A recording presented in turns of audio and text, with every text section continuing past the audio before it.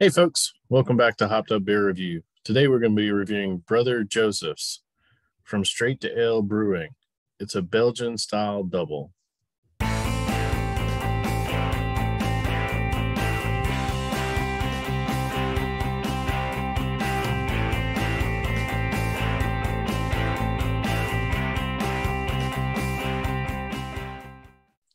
Welcome to Hopped Up Beer Review, where we give you our unprofessional and somewhat biased uh, opinion and review and discussion about the beer we are drinking. Uh, I think we got a fun one today. But before we get to that, be sure to like, subscribe, and cheers that notification bell. And I would be remiss if I did not introduce, of course, Jay and Andy in the attic, and I am Ben.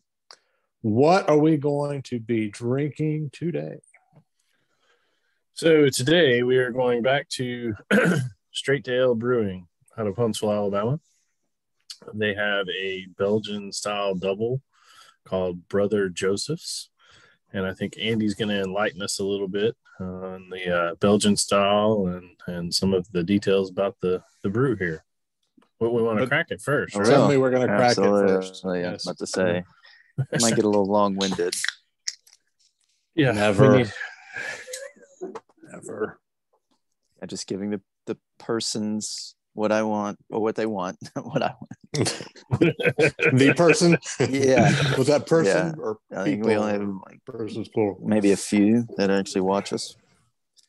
That's okay. So it's a So- uh Jay would Yeah. rather be watching, obviously. yeah, I mean, come on, dude. Oh, yeah. gotta, gotta put the details there. So and learning. Part of it's learning. So this is a year round that they have. Yeah. Cheers, mates. Mm. Smells good. Cheers, mates. Cheers, mates.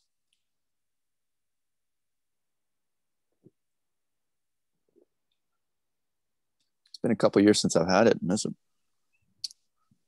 I have not had it. So, Ah, yeah, you get the first review. Yeah. yeah. Well, it's a again you said a Belgian style double.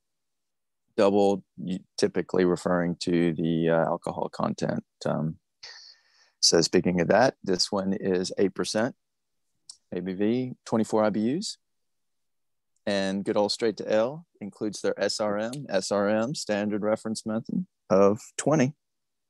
So we're getting some light to there. Okay. Belgian style ales typically got a little higher um, carbonation, but they're they're malty, um, usually brown. Um, a little sweetness to it. Usually get some cocoa and caramel coming out of it. Medium, low hop bitterness. So 24 IBUs. So it's that more medium to lower uh, end. This one's yeah, I don't know why I waited a couple years to drink it again. Although I don't know if we get it in our area like we used to, since we don't have a reliable craft beer store anymore.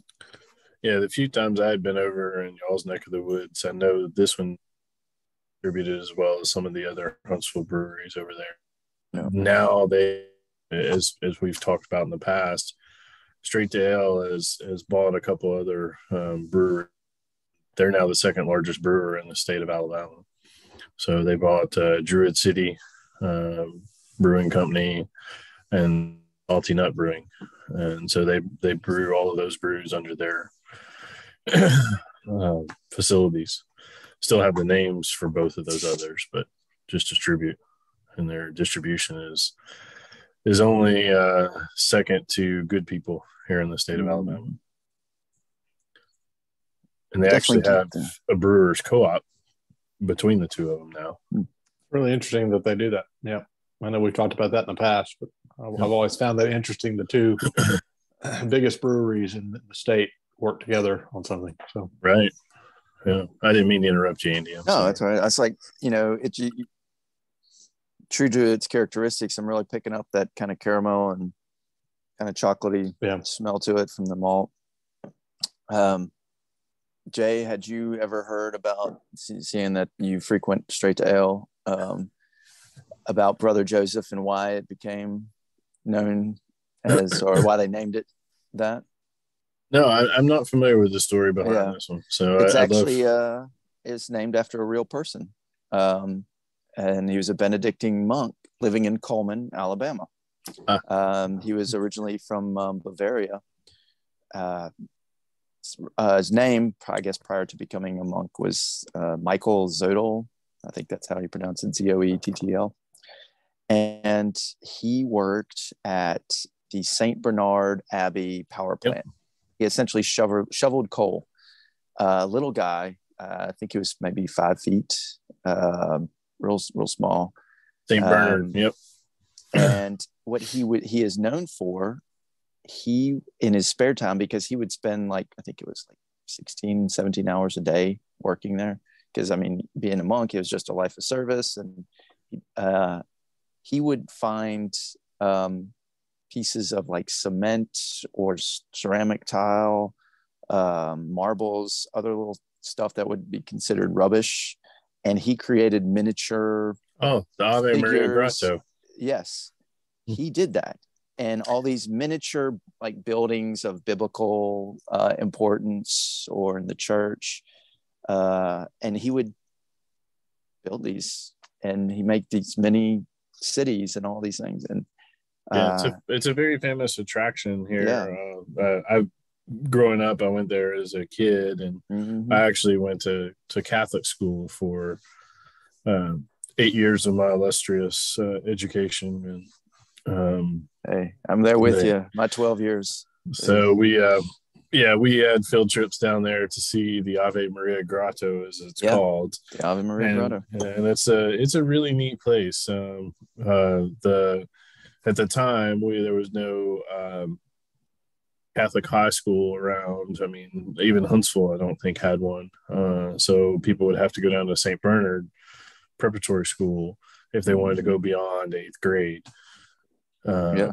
in North Alabama, and that's down in Cullman, so uh, in that area, close to Birmingham. All right, we had a little uh, lapse in in our recording there, but uh, but we should be back. But uh, what I was mentioning is, uh, if you look at the actual can art, there's you know you see a, a building kind of in the background there, uh, over over his shoulder, and you know Andy, I- looking at that when you mentioned you were talking about the biblical references, and then you mentioned secular. I mean, to me that looks almost like uh, the Capitol or or you know something. I don't know if you guys know what that i think that's st particularly be. peter's basilica uh, Okay. in uh, vatican city All right. There you go. Y'all both went to Catholic school. I did. So, Yep. uh, so there you go. Come on, you've seen the Da Vinci Code. Yeah, I mean, long, long time ago. You know, I wouldn't, I wouldn't pick that out personally. But again, I didn't grow up You uh, going to Catholic school. No, So, it, it's a cool story. I didn't know that uh, Straight to Ale did a tribute for for that. Glad you shared that, Andy. Um, it's really cool. Most of Straight to Ale's legacy or heritage, their brews, they typically tie them to um, Huntsville or space related things. Or, so this one ties into local as well, just a little Mhm. bit extended down to Cullman. So, you know, just another hour down the road. all right, we uh, is that our nerd out section for for today's episode? I rest my case All right. well, um, I guess with that, we'll move on to rating uh, Brother Joseph's um, ale here. I- just went absolutely blank. Uh, Belgian style double. double. and uh, of course, I get to go first since uh, this is the first time I've ever had it. Um, I think it's actually really, really, really good. Um, it is fantastic. Uh, you know, definitely, you know, Andy kind of hit on this a little bit. You, you definitely get the malts, uh, you know, the normal caramel um, and and chocolate uh, on the nose, and you know, not so much for me on the taste, but you know, it's all there. The maltiness is is definitely fantastic. Um, I'm going to give this one eight and a half. Uh, I think I think it's great. Yeah, I agree. I I'm big on it. Um, definitely um, higher carbonated, uh, being a Belgian style ale. So more, you know, there's lots of beer that we drink that has the malts in it, um, and uh, or the highly roasted malts to get that to caramelize the sugars and give you those great flavors. Um, but yeah, this one definitely gets me the the burps going. but it's a great taste. Um, little zing to it. Uh, I'm going to give it an 8.0. I really like it. All right, awesome. Jay. Yeah. Well, last but not least, all right. Yeah. So, you know, I'd, I'd rather be watching us any day of the week. Uh, hope everybody. We're out there. It, out there. it, gets out there and checks us out some more. So, um, got a lot you, of hours of content, so you can keep watching.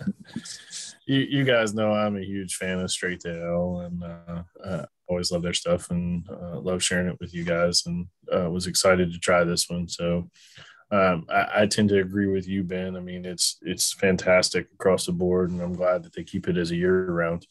Um, I, am more of an IPA guy, but you know, when I would need to venture out or something like that, this is actually one that I go to from time to time. So, um, yeah, I, it's an eight and a half all day for me.